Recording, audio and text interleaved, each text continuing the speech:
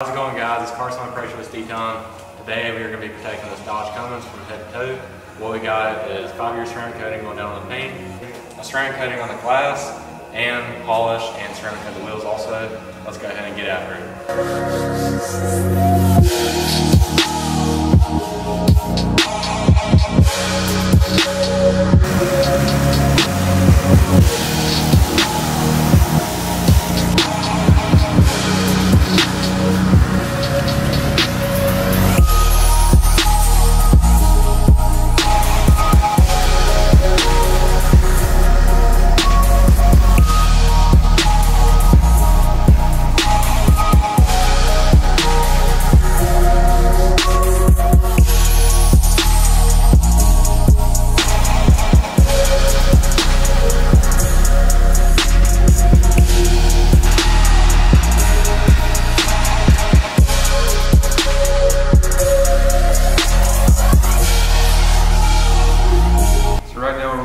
Gauge the paint on the wheels. What we're gonna do is be checking how much clear coat is on there to see how much room we have to cut and polish.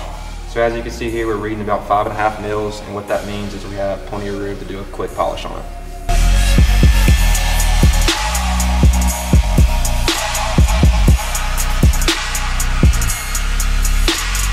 All right, so while he was polishing out the wheels, I went ahead and knocked out the inside. I also got the inside of the door handles there was a lot of scratches right in there and I figured we'd go ahead and get that out.